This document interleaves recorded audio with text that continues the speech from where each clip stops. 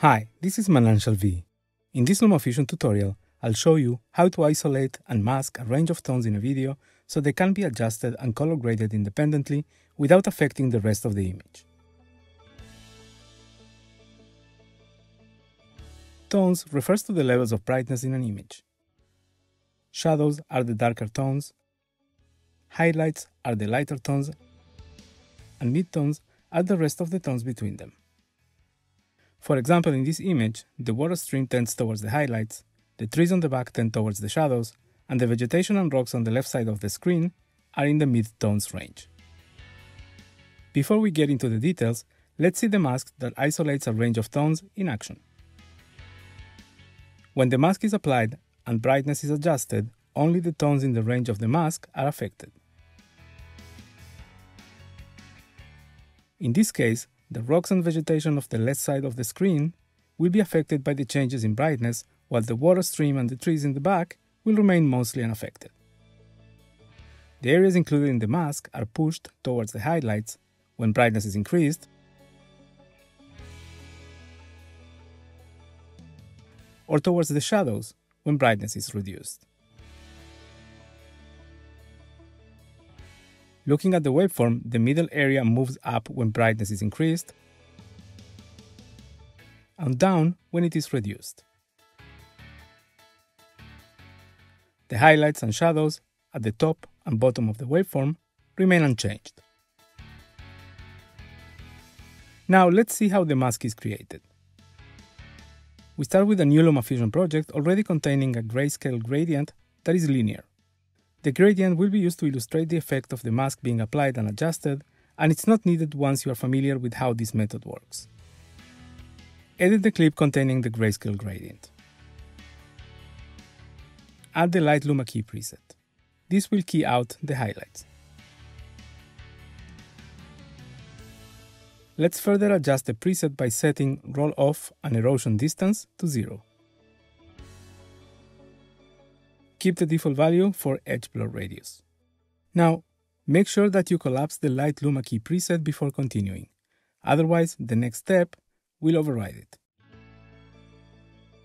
Add a dark luma key preset so it's placed right after the light luma key preset that you've added in the previous step. The dark luma key preset will key out the shadows, so now only the range of tones between the shadows and the highlights is visible. As before, set roll off and erosion distance to 0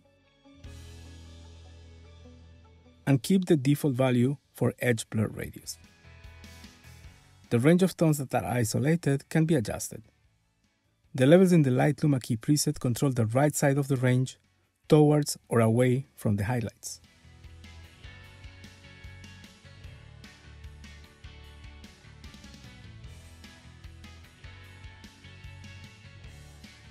The levels of the dark luma key preset work in the same way to control the left side of the range, towards or away from the shadows.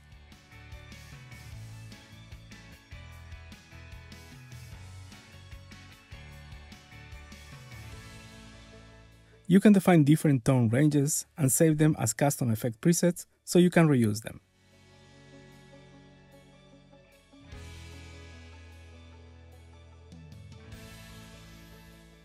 Now that you have a good understanding of how this method works, let's see an end-to-end -end workflow example.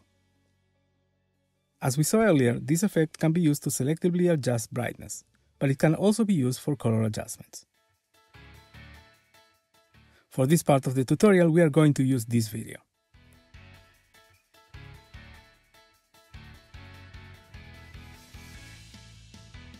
We are going to apply a mask that isolates the skin tones so they can be adjusted separately while keeping the rest of the image unchanged. Let's start with a new LumaFusion project already containing two copies of the video in the timeline. Edit the second copy. As we did previously, add the Light Luma key preset and set its values.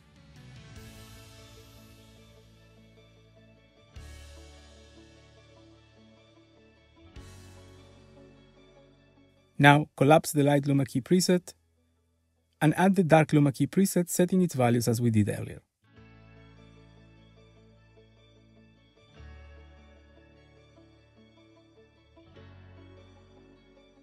Next, adjust the range of the mask by setting the levels in both luma key presets so it isolates the skin tones from the remaining higher or lower tones.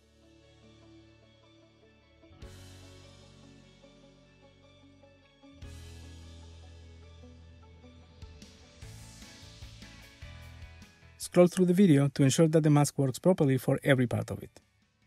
Keep in mind that it doesn't have to be perfect. Exit back to the timeline. This is how the video looks with the mask applied.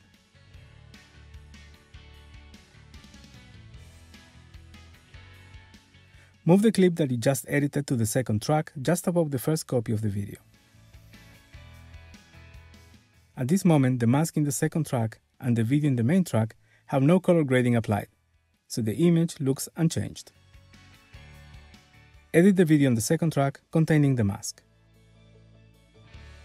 The next steps will affect only the areas included in the mask, which in this case is mostly the face. The goal is to give the face a more natural color. Add the original preset. Increase the reds a bit.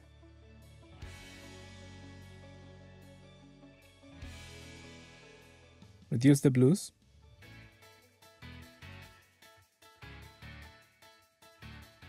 Slightly reduce gamma.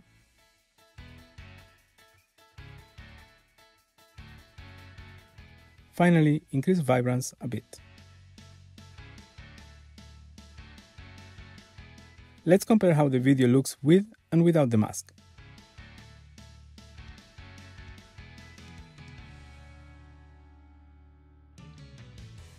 Exit back to the timeline.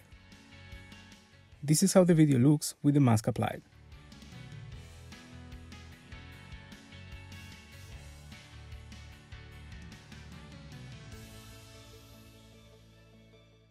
When using this method, you don't have to stick to realistic colors.